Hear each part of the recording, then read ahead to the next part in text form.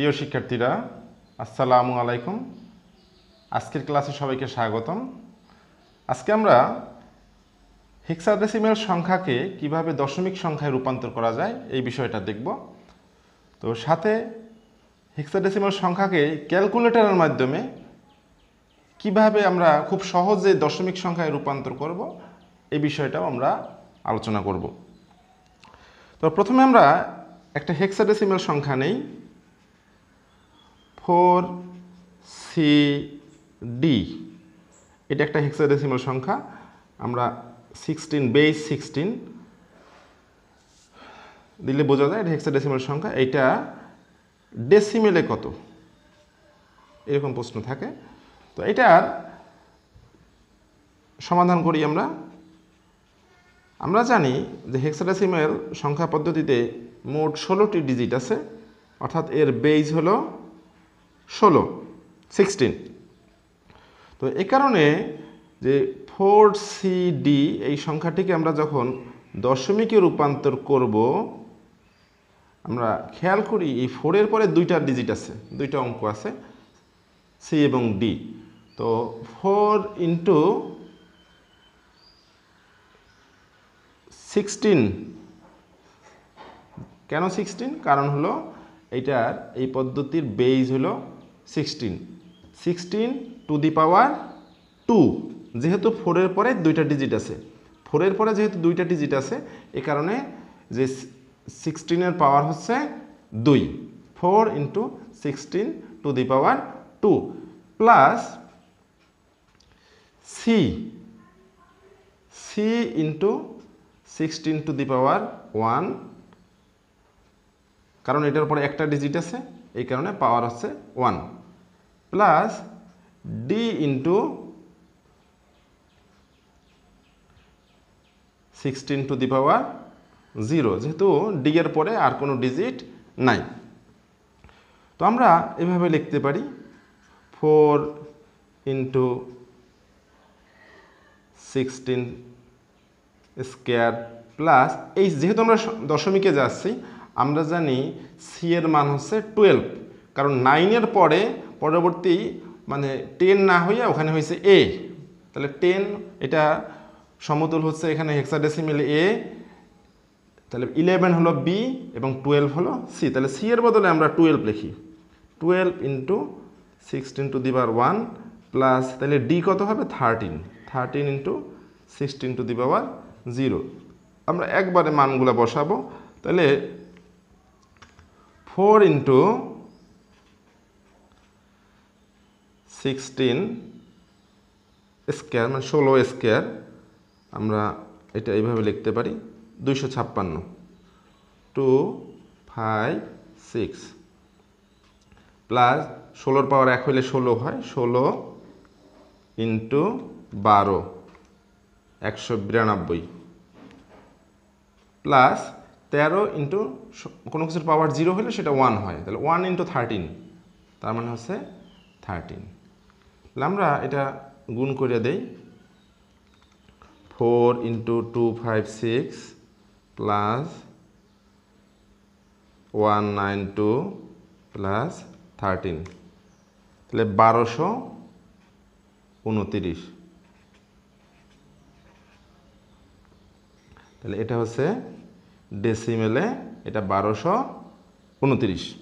তো আমরা এই বিষয়টা ক্যালকুলেটরের মাধ্যমে আমরা খুব সহজে দেখতে পারি।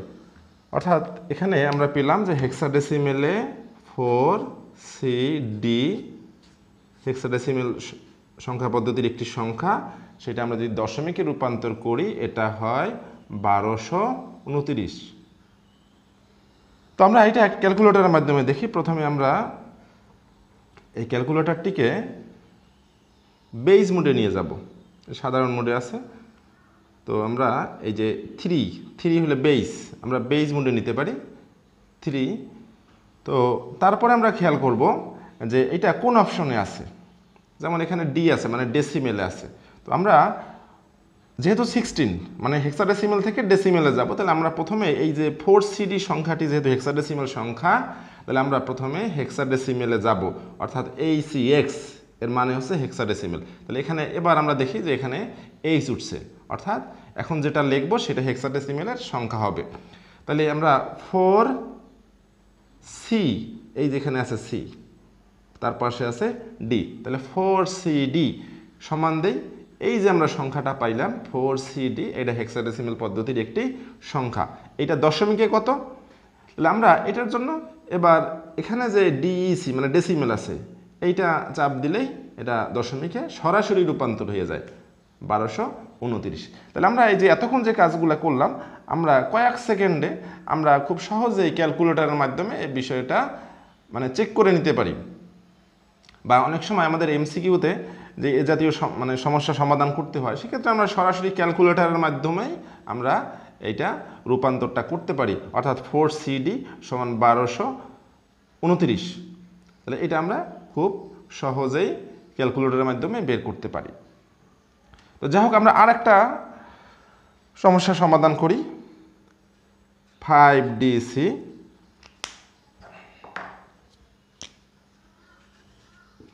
five D C point A F এটা হেক্সাডেসিমাল পদ্ধতির একটি সংখ্যা, এটা দশমিকে নেব। তাহলে ফাইভ ইন্টু যেহেতু এখানে হেক্সাডেসিমালের বেস সিক্সটিন তাহলে ষোলোর পাওয়ার কত হইবে? দুই হইবে, যেহেতু দুইটা ডিজিট আছে। ফাইভের পরে দুইটা ডিজিট আছে। Plus D into D into sixteen to the power one plus C into sixteen to the power zero plus A into sixteen to the power minus one অর্থাৎ বেস এক করে কমতেছে। আমরা এখান থেকেও হিসাব করতে পারি, অথবা এখান থেকে দুই, এক শূন্য minus one minus two minus three এইভাবে পর্যায়ক্রমে কমতে হবে। শুধু প্রথমটা আমরা দেখে নিলেই হয় যে এখানে প্রথম যে সর্বোচ্চ গুরুত্বের যে সংখ্যাটা আছে, তারপরে কয়টা ডিজিট আছে? তারপরে এখানে দশমিকে রাখে দুইটা ডিজিট আছে। তাহলে এখানে ষোলোর পাওয়ার দুই।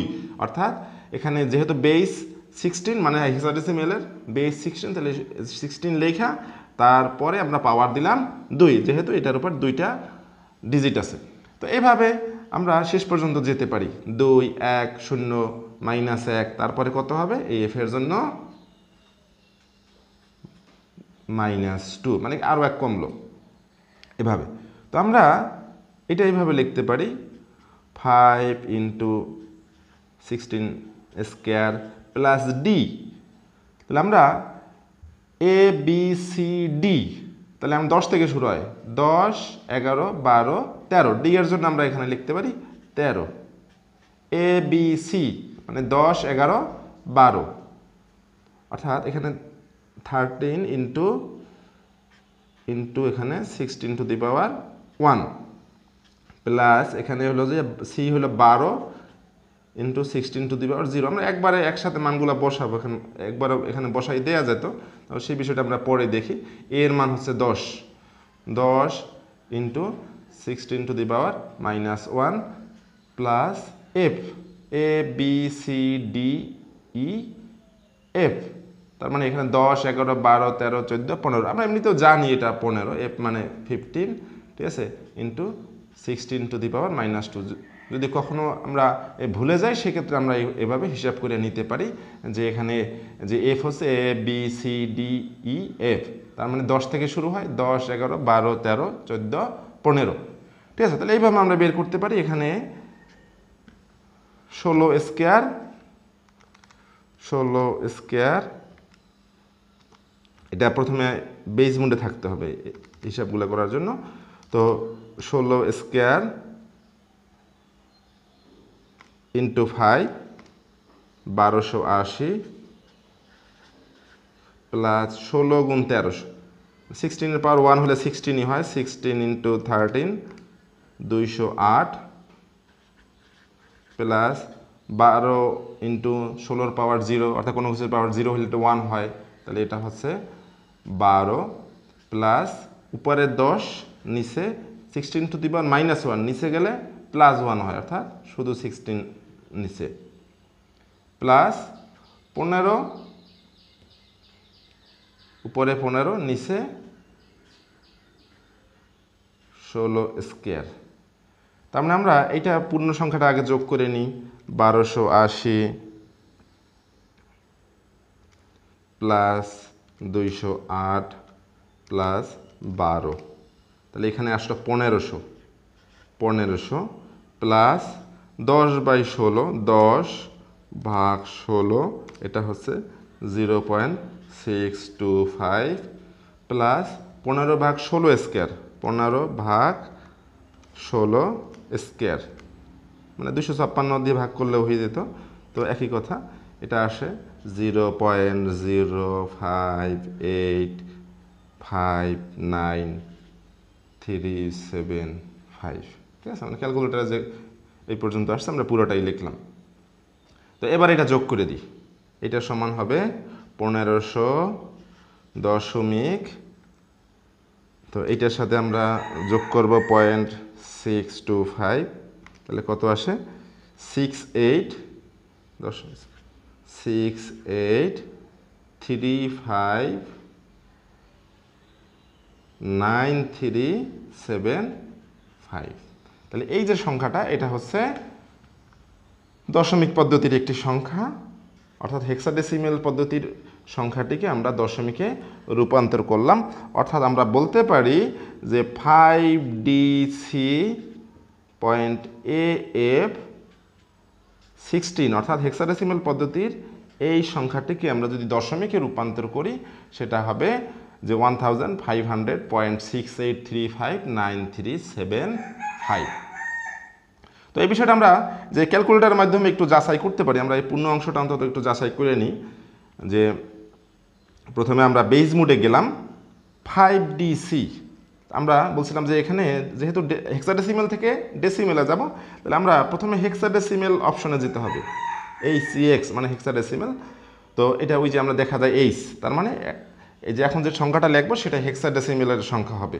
তাহলে ফাইভ ডি সি ঠিক আছে? আমরা পূর্ণ অংশটা লিখলাম।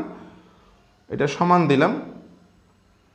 সমান, তাহলে ফাইভ ডিসি তাহলে এইটা দশমিকে কত? দশমিকের জন্য আমরা এখানে ডিসি মানে ডেসিমেল অপশনে গেলেই দশমিকে এটা কত? সেটা পেরে হয়ে যাবে, তার মানে পনেরোশো। ঠিক আছে? তাহলে আমরা এই যে এতখানি করলাম, সেটা আমরা যে এক মুহূর্তের মধ্যে ক্যাল ক্যালকুলেটরের সাহায্যে আমরা সেই রূপান্তরটা দেখাইতে পারলাম। তো আজকে এই পর্যন্ত। আশা করি সবাই বুঝতে পেরেছ। সকলকে অসংখ্য ধন্যবাদ জানিয়ে আজকের ক্লাস এখানেই শেষ করছি। আল্লাহ হাফেজ।